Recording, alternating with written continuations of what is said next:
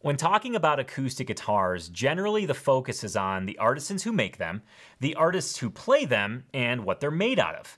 Seldom is the spotlight pointed at who does the inlay. Well, that changes in today's show because I'm going to be introducing you to six amazing, mind blowing inlay artists. Hey TAC family, welcome to episode 209 of the Acoustic Tuesday Show. This show is all about bringing fun, focus, and progress to your guitar journey through my weekly Guitar Geek list, plus success stories from your fellow TAC family members. Have you ever had a guitar goal that maybe frightened you? Have you ever put a solid plan in place to achieve that goal? Well, TAC family member Richard has one of those very goals, and he made one of those very plans. In fact, in today's show, you're going to meet Richard and find out what his goal is and the surprising way he's going to get himself there. Plus, you'll see what the TAC family is working on this week, and it happens to be a blues lick in the key of B. And as usual, you'll get your weekly dose of acoustic news you can use, which includes quite a few stops on the new music train, a signature guitar model that is a tribute of sorts, and so much more. But first, let's get inspired and meet some masters of guitar inlay.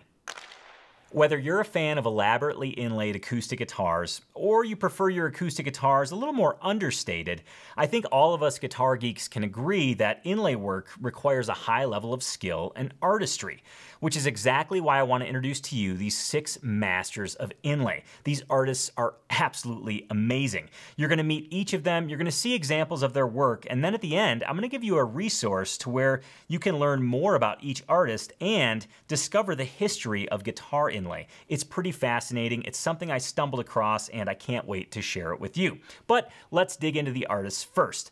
First up on my list is Larry Robinson. You might be familiar with that name because he first came into prominence when he did the Martin D45 Peacock. This guitar features a back that is nearly completely inlaid with the image of a peacock. It's pretty darn striking. Well, his name came up again in my guitar journey because I had a chance to play a Martin D100 and he was commissioned to do the inlay work on it. Again, it's a stunning example of artistry at the highest level. Let's go ahead and take a look at that guitar and, well, since I played it, let's have a listen.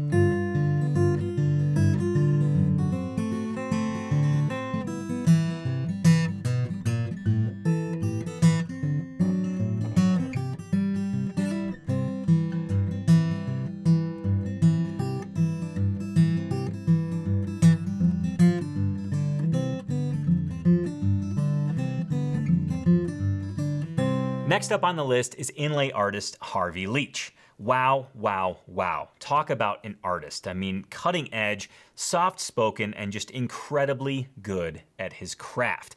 Here he is describing a guitar that he inlaid for Martin that was to be displayed alongside their millionth guitar. Check this out. The name for it came up as Smoke and Mirrors. The first inlays that I did for Martin was for a recreation of a these western scenes, and it was on a guitar that was made to debut with their one millionth guitar yeah. at a big trade show. And I wanted to do something special, so I came up with this idea. And that guitar has an inlay of a bar scene on it with a mirror in the background. So I used this to create the mirror, and it also has a train on the headstock, which has smoke coming out of it. Yeah. And the smoke from the train obscures the Martin name. Yeah. You know, which had never been done before on the guitars. But one of the guys at Martin, Dick Boak, he coined the phrase smoke and mirrors, and it's kind of stuck with it as that's what this technique has been called ever since. Yeah. Well, this is mother of pearl. One of the unique characteristics of mother of pearl is that it's highly reflective and colorful, but you can also see through it. On certain angles, you can see whatever's behind it. So you can use this as a type of glass to lay over the surface of things and it creates this cool smoke and mirrors effect. It's kind of a holographic effect. And it's kind of become my trademark to do. Next, I want to feature the wife of Jean Larrivee of Larrivee Guitars. Yes, Wendy Larrivee is an awesome inlay artist. Through the years, Larrivee have done all these different special edition models that have elaborately inlaid headstocks, and they all have kind of a theme. Well, those headstocks, the inlay patterns on those headstocks were designed by Wendy Larrivee, and she did the inlay work for them as well. Here's a fine example brought to you by Dream Guitars. This is a Jester-themed D10.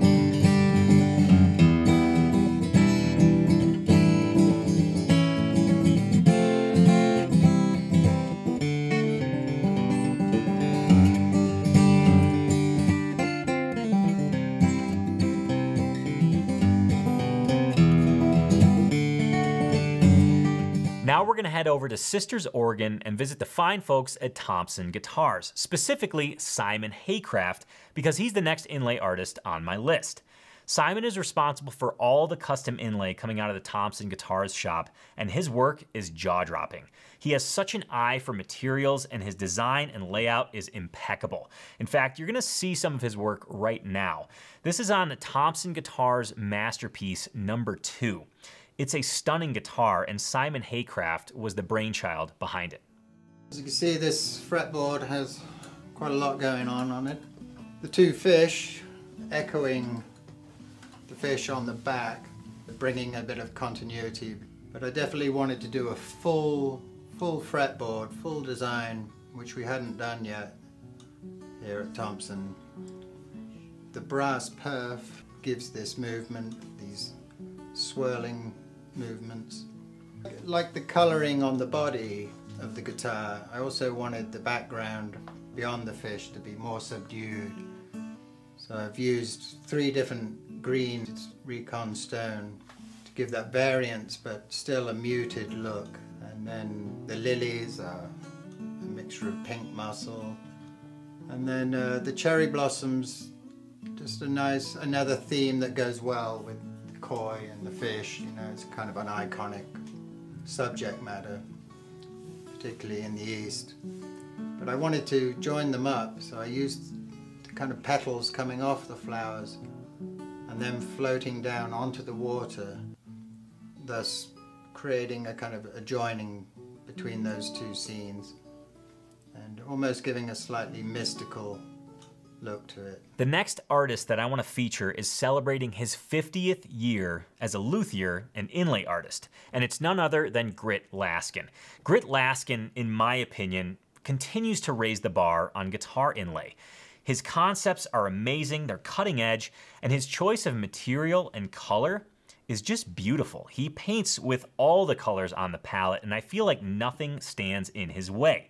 In fact, here's a great example of one of his guitars. And so Grit sort of take, took this opportunity to not only do that, but to also sort of bring in some elements of humor as well as realism, which he's a really big fan of.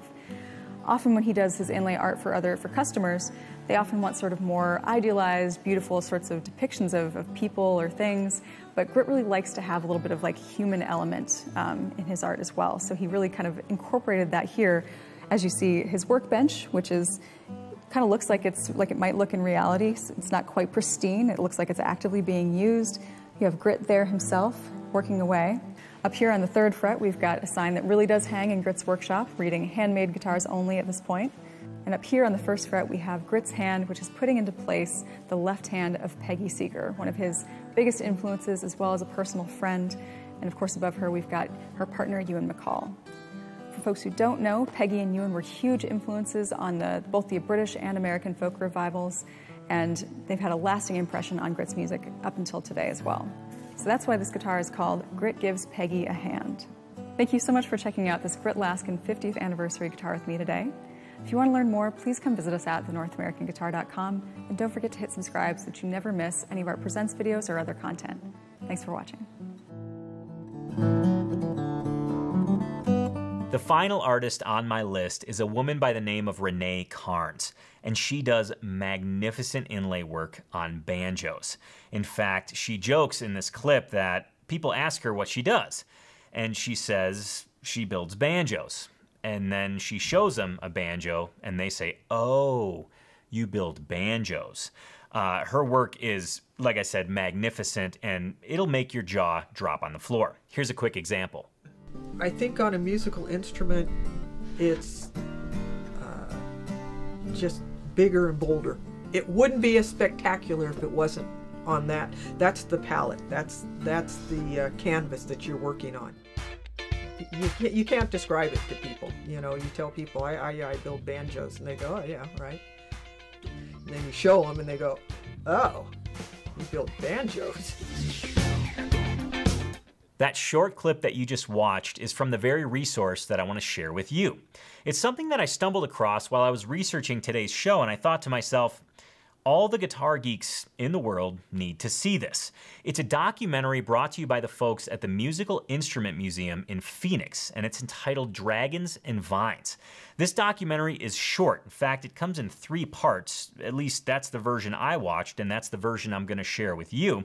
And it goes through the history of musical instrument inlay, the recent history, and you get interviews from each of the key players in the inlay world. In fact, some of the very inlay artists I mentioned today are in this documentary. So, just to wet your whistle, I want to give you a quick clip from this documentary that shows one of the key players, the Duke of Pearl.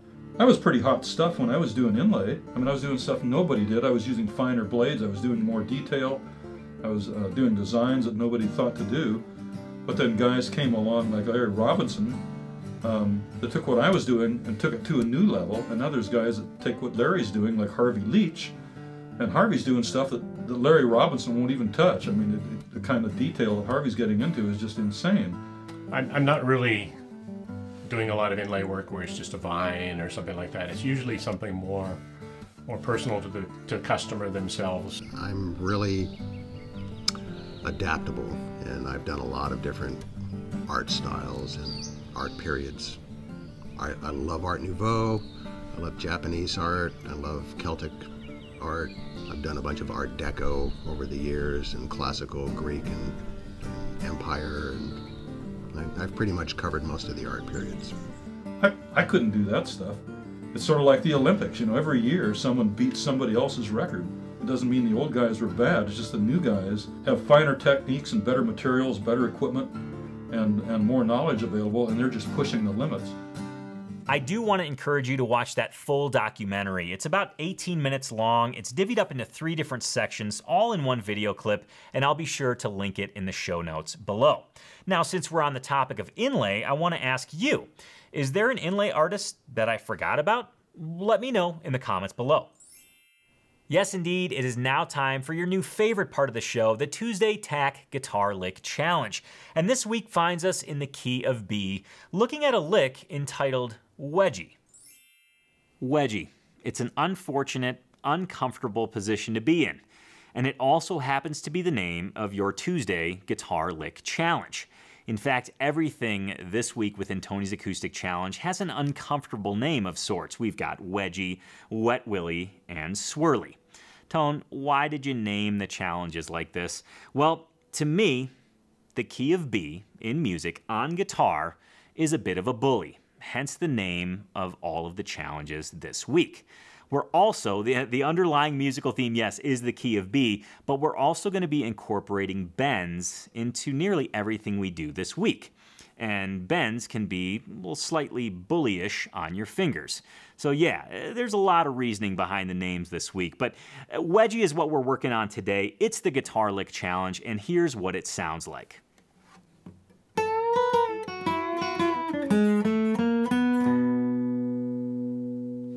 What an awesome lick. One of my absolute favorites for three distinct reasons. Reason number one, it's a blues lick. I don't have to say any more. It reminds me of Johnny Winter, reminds me of Muddy Waters. I guess I did have to say a little bit more. Reason number two, it's sparse. Yes, there are not a lot of notes being played here, but the notes you are playing are quite important and they have huge impact. Reason number three, and probably the most important reason, is that this is a closed position lick, meaning there are no open strings. Why is that so important? It's so important because once you learn this lick, you can move it around the neck and play it in any key. That to me is incredibly powerful. Now, if you're sitting there wanting to learn this lick note for note, you can do that. TAC fam, just go ahead and log in, click Start Challenge from your homepage, and boom, it's Tuesday. Tuesday is Guitar Lick Challenge Day, and this is today's Guitar Lick Challenge. You'll be taken right to a teaching video where you can learn it note for note. After that, you can move to the play along video, pick a speed that's comfortable for you, and if you want to follow along with the tablature, go ahead and click that tab icon in the lower right hand corner and pop that tab open in a brand new window, and boom, you'll have everything right on your computer screen ready to learn. Okay, so how do you actually use this lick in a musical context? Now, I don't personally play in the key of B a whole heck of a lot. I certainly don't do it without a capo. In fact, I try and avoid the key of B if at all possible. That being the case, when I do play in the key of B, it's mostly closed position out of necessity. So what I'm going to do is show you this particular lick with a closed position bass riff. Now this bass riff is just kind of a repeated riff that gives you a sense of rhythm, that gives you a sense of drive. But if I repeated this bass riff for a long time, it's going to get pretty boring and that's where this lick shines. We're gonna break things up using this lick. I'll play the bass riff, I'll move to the lick. I'll play the bass riff, I'll move to the lick. It creates this, it creates much more depth if I'm adding this lick in every now and then than if I just simply played the bass riff. Here's the example.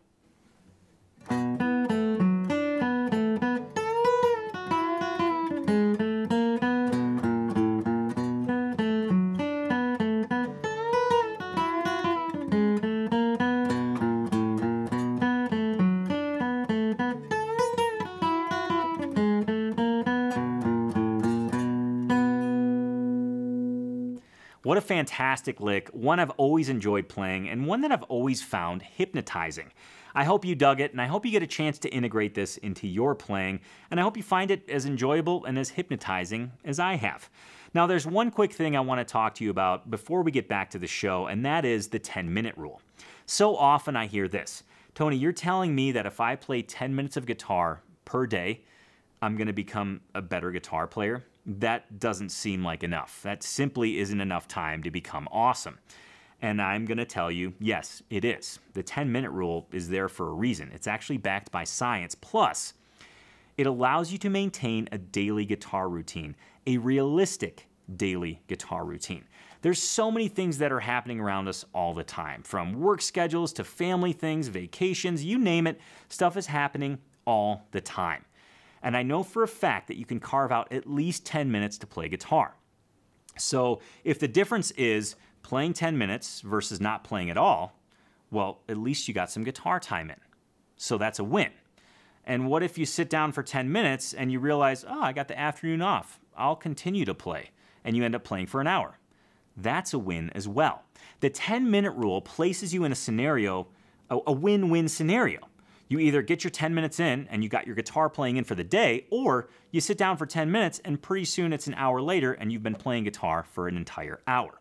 The 10 minute rule puts you in a win win scenario, and that's incredible. And that's why the basis of a solid daily guitar routine is a 10 minute daily playing session. If you can commit to that, I can guarantee you you'll become a better guitar player because you will achieve daily progress, and that is oh so important on anyone's guitar journey.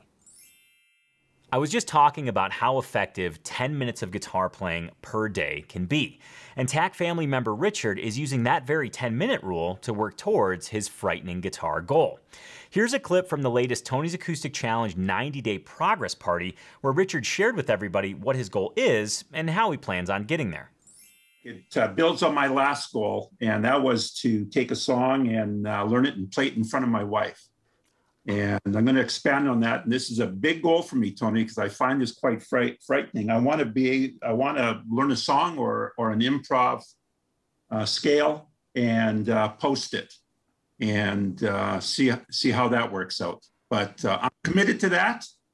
Uh, and how I'm going to reach that goal is is again practice a song, get really fluid. Well, I'm I'm fortunate in that being semi-retired, so I play in the last 90 days. I was able to play seven days a week, um, and but I do it at I do it at uh, uh, seven o'clock to 7:30 in the morning. No one's around. Uh, don't get interrupted by uh, by foot by the phone, and I'm able to dedicate that uh, as you said, it usually works out more than 10 minutes, but certainly a minimum of 10 minutes. And, and I'm going to use that time to really get to know some, when I say know songs, it's not reading, reading them off the sheet, but being able to play it and then really enjoy it and being fluid.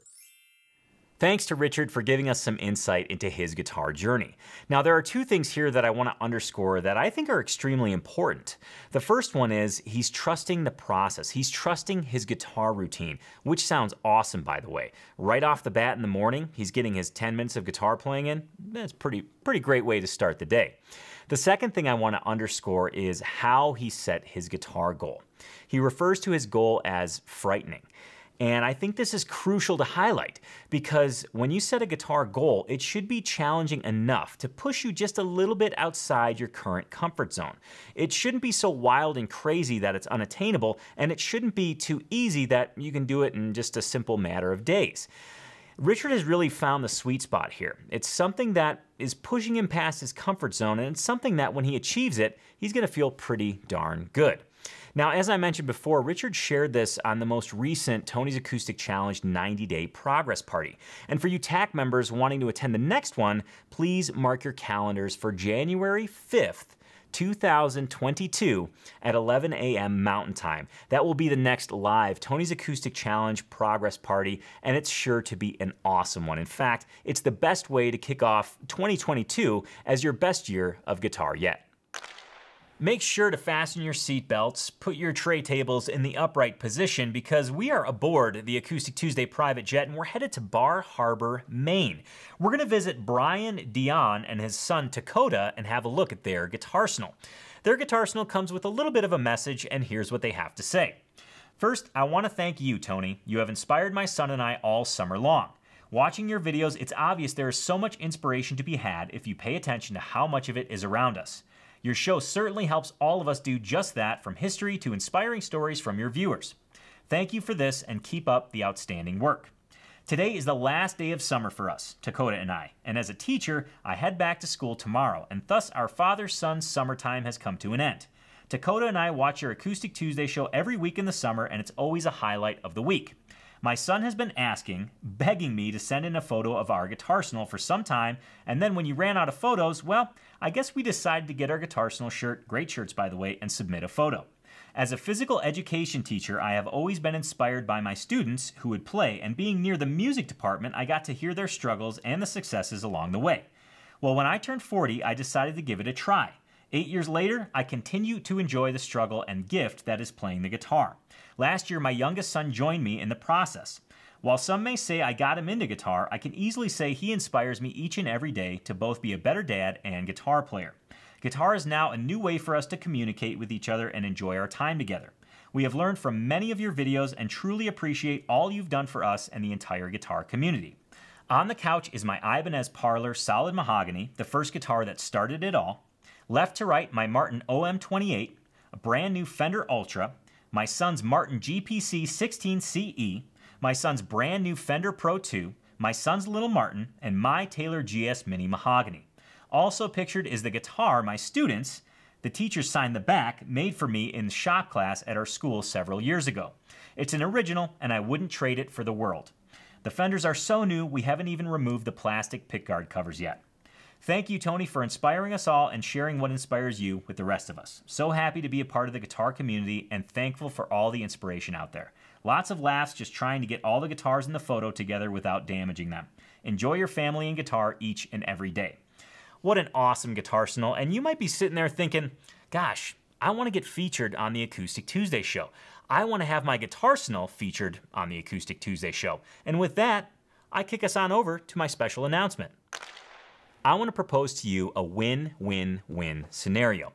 I want to feature you on the Acoustic Tuesday show. Yes, I want to feature you and your guitarsenal, or you and your Acoustic Tuesday merchandise. Step number one, go to tonypolecastro.com forward slash shop. Once you're there, pick out your favorite guitarsenal shirt, your favorite Acoustic Tuesday merchandise, get it shipped directly to your door. Step number two, once your merchandise arrives, go ahead and put it on and take a picture of yourself, either just wearing Acoustic Tuesday merchandise, or if you have a Guitarsenal shirt, take a picture in front of all of your guitars. And then once you're done with that, step number three is to upload your picture at tonypolecastro.com forward slash shop. There's a link right on that page. Click it, you can upload your photo, and boom, you'll be featured in the Acoustic Tuesday show.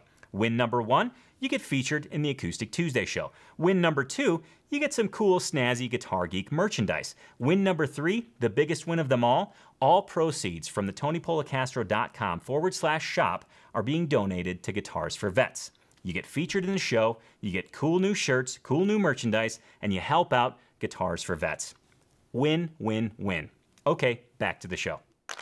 All right, all right, all right. It's time for acoustic news you can use. And I have a whole slew of new music I want to share with you. First up, Well, Norman Blake has a new album coming out October 22nd. Yes, in just three short days, he'll be releasing the album Day by Day on Smithsonian Folkways. And I want you to hear a track from it right now. The track is entitled I'm Free Again. Oh, I'm free. I'm free again. Yes, I'm free. Free at last. But sometimes it makes me wonder all the visions of the past. Next up in the news is Justin Townes Earle's signature model acoustic guitar from the folks at Recording King. Now, prior to Justin's passing, both him and Recording King were working on this guitar. Well, it's finally come to fruition and it's been released almost as a tribute to Justin Townes Earle. And it's a very vibey guitar, very vintage inspired and just a cool looking, cool sounding, cool guitar that has a legacy, that has this wonderful tribute to an amazing singer songwriter. Let's give it a listen.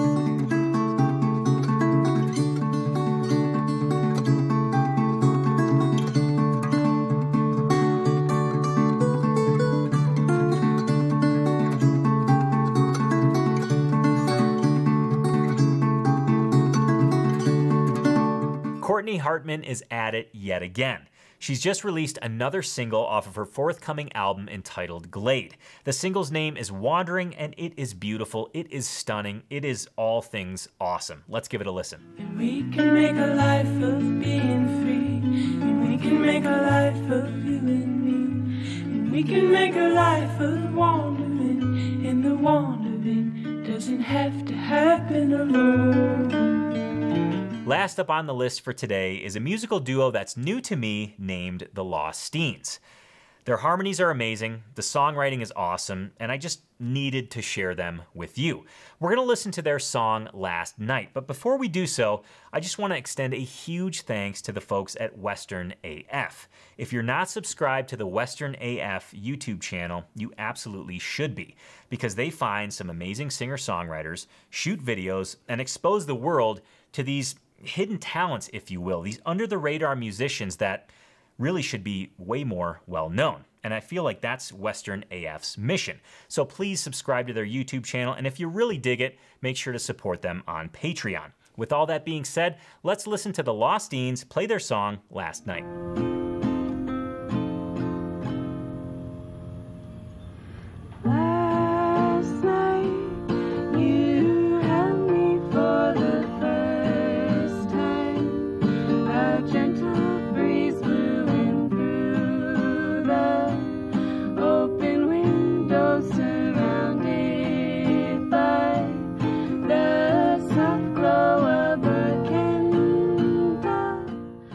On those sweet, sweet notes, I think it's a great time to wrap up the Acoustic Tuesday show for today. But before I do that, let's take a sneak peek into next week.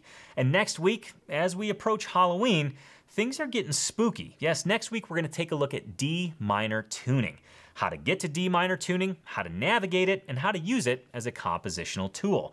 That's happening next week on the Acoustic Tuesday show. Please remember you can catch Acoustic Tuesday every single Tuesday right here on YouTube at 10 a.m. Mountain Time.